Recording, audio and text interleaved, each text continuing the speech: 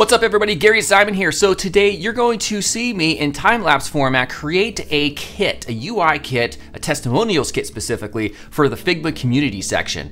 Now, why would you want to do this if you're like a freelance designer or something like that? I'm going to show you exactly how you can benefit directly by creating these free resources within Figma. So as always, make sure to subscribe and let's get started.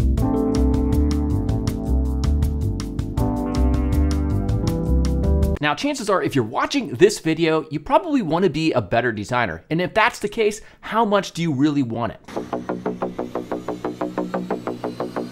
Because at designcourse.com, I've created a UI UX course that will help you go from designing layouts that I might rate a four or five up to eight and beyond. But more important than that, as a better designer, this means that you can land higher paying clients and jobs. This course includes over 16 hours of video, 40 interactive UI design tests, and even mentorship where I personally take a look at your work that you submit, I review it, and many times I also revise it, providing you with great feedback to help you become a better designer. Now, for this video, I want you to use the coupon code UI2022, and that will give you 22% off at checkout. All right, so here I am. Um, just starting off with the first card. So this is just gonna be a three column approach where we have three cards.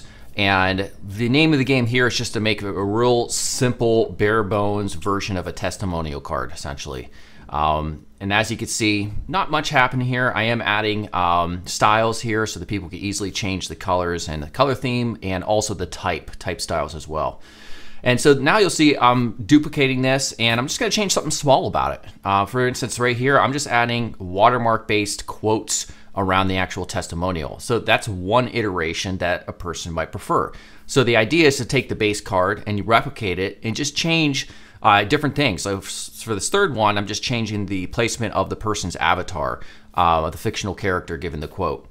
Um, here I decided to start doing um, large single quote sections. So sometimes if you've ever seen a landing page, you might see, you know, just a, one section of the layout dedicated to a single quote, maybe by a prominent person.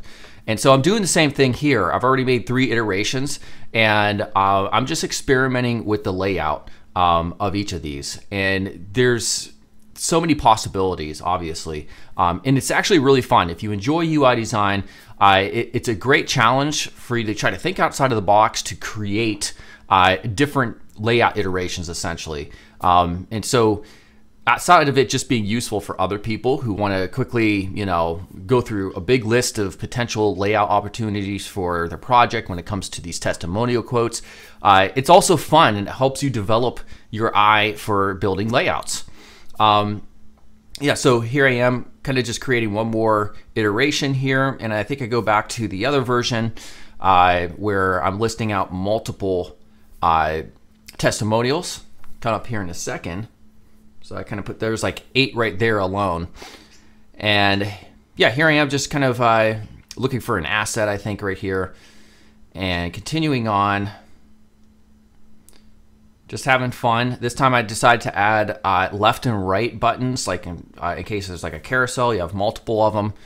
People might prefer something like that. I decided to do um, an entirely different type of design for multiple listings here for the three column sections where we have actual large thumbnails. Again, many ways, a million different ways to lay out testimonials. And the more that you have, uh, the more successful your kit will be. And that's the whole point of this. So you want as many eyes as possible, as many people uh, using your kit as possible so that uh, however you're trying to benefit from it, be it monetarily um, or just trying to get them to uh, perhaps hire you, because uh, it's not always designers using these, it's uh, other people. Uh, it, will benefit you greatly. So here's the kit. Uh, we're no longer in the time-lapse format.